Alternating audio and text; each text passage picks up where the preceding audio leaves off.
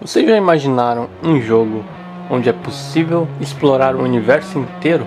Até mesmo no GTA San Andreas você via a lua e pensava se era possível ser explorável e você seguia e seguia e seguia e nada acontecia, né? Tô aqui hoje para dizer para vocês que isso é possível no futuro não tão distante.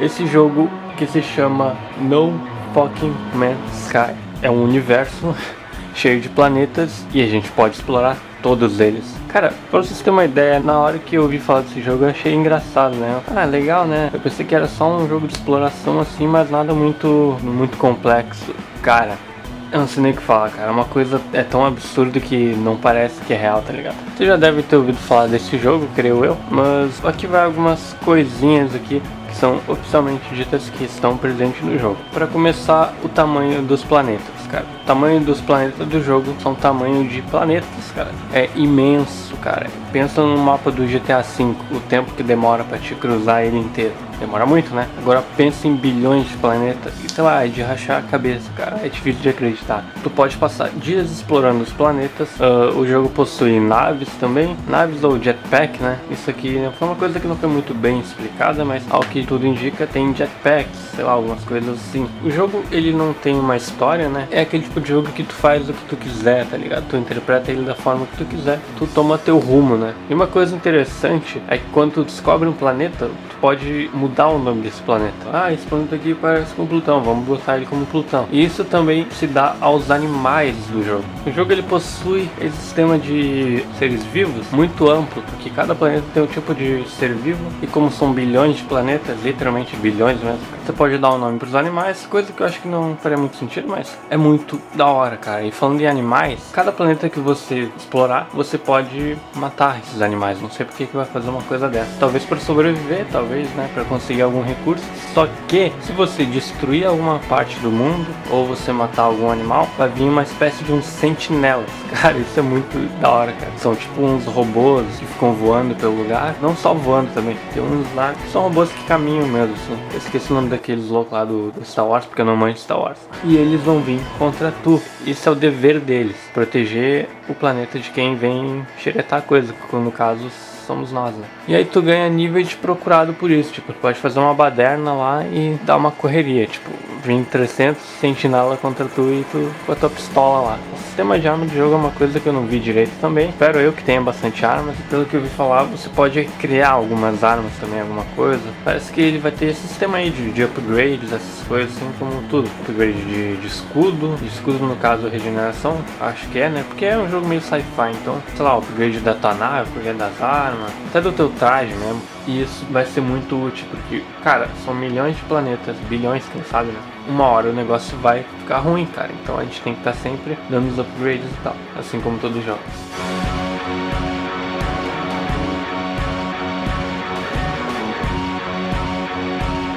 No jogo tu pode tanto explorar como batalhar, sim, a gente tem batalhas fora dos planetas, na, na galáxia mesmo. Vai ter momentos que você vai estar andando com essa nave por aí, aí você vai ver mais naves chegando ali no confronto. E você pode escolher se você quer ajudar uma nave ou outra. Eu não sei se tu existe algum time certo, sei lá, algum grupo certo que tu tem que seguir, ou tu escolhe isso também, né? Total liberdade de fazer o que tu quer no jogo. Né? Cara, e uma das coisas que eu acho muito épico cara, nesse jogo é que a velocidade que as naves vêm, cara, tipo, ela é muito rápida, cara. Quem sabe um dia, quando nós evoluirmos, nós vamos ser capazes de fazer uma coisa dessas, mas é rápido demais, tipo, tá andando por aí, tem 70% de chance de tu ver uma nave a mil. E quem sabe querer confrontar contigo, né? Vai saber.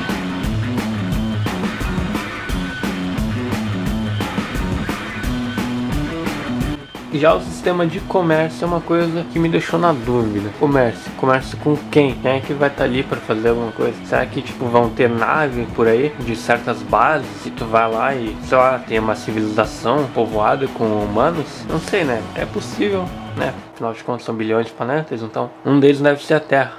é que a gente tem a mania de achar que a gente é o centro do universo, né? E agora, uma coisa que me deixou muito doido, que é o seguinte, tu pode criar itens de nível atômico, foi o que estava escrito. Tipo, bombas atômicas? Bombas nucleares? Será que tem como... Não, tipo, acho que isso é possível, né, cara? Destruir um planeta inteiro, se bem que isso seria muita maldade, né, meu? Cara, isso ia ser muito doido, velho. Afinal de contas, são bilhões de planetas, mas não é por causa disso que tu vai sair destruindo tudo que é planeta, né?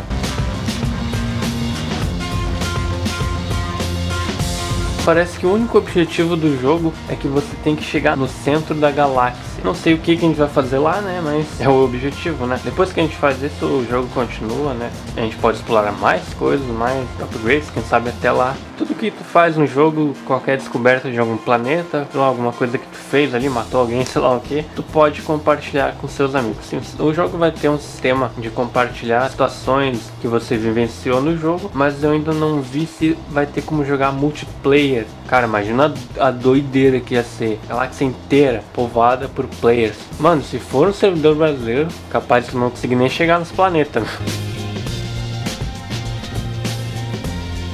Cara, eu tô muito ansioso por esse jogo, cara. Só que o meu PC não roda, eu não tenho PlayStation 4. Pelo que eu vi, esse jogo é só de PlayStation 4 e computador. Nada foi dito ainda sobre Xbox One, o que não faz muito sentido, porque se fosse um exclusivo da Sony, não sairia para Windows, que é da Microsoft. Quem sabe o Xbox One não tá pronto para um jogo desse, porque o Xbox One tem certas falhas, né? Não sei se eles já corrigiram algumas coisas. Bom, a gente tem que esperar, né, galera? A data de lançamento do jogo ainda não foi prevista, que eu saiba, né? Sempre tem alguém que posta algumas informações falsas assim, pra lá e pra cá, e dá uma confusão. Então eu gosto de trazer aqui, vou começar a trazer, né, informações certas, nada muito exagerado, o que eu ver que for verdadeiro eu trago para cá. Isso é o que eu posso dizer de No Man's Sky para vocês. É um jogo que todo mundo sonhou. Eu juro que eu já sonhei com isso, cara. Eu já sonhei com um jogo assim, mas eu nunca pensei que fosse possível. Não pensei que isso fosse possível tão cedo. Só pra vocês terem uma ideia, eu vou mostrar para vocês o tamanho do jogo que é. Mano do céu.